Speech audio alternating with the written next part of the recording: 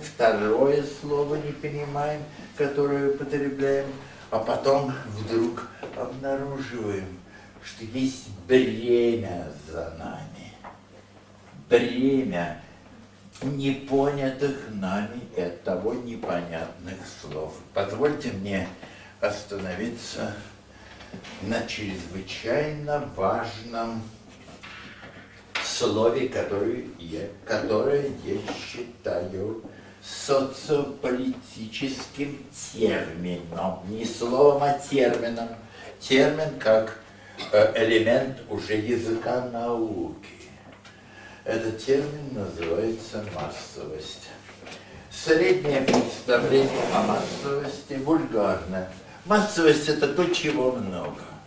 Массовость – это 50 миллионов. Это, это, это больше 50%. Это подавляющее большинство.